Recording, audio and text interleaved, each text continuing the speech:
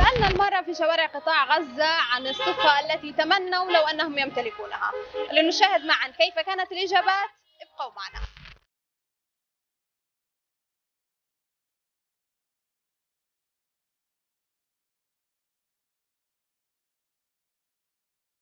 مشهور على ال social media كوميديا إشي زي هيك. كنت نفسي أكون أكثر من هيك شوي. يعني مرات التساهل مع الناس ومع الأولاد ومع الدنيا كلها بتتعب الواحد. صراحة أكتر إشي إيه، بحس مش بس أنا أغلب العالم صبر. يعني لازم يكونوا صبورين أكتر من هيك لأنه أنا أو غيري بصراحة بنعصب على أتفه الأشياء.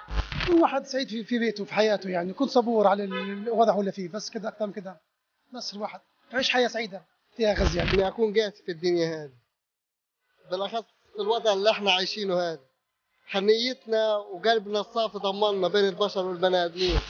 والله أنا يعني طبعا من خلال عملي كرجل إصلاح وك اللي وضع في الوضع السياسي أتمنى أن يكون لدي القدرة على إدارة شؤون الوطن والبلد.